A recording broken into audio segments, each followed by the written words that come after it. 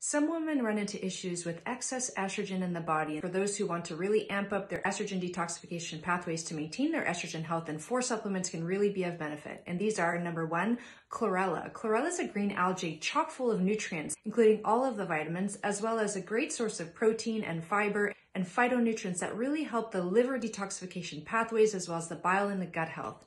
Number two is what's called calcium D-glucarate.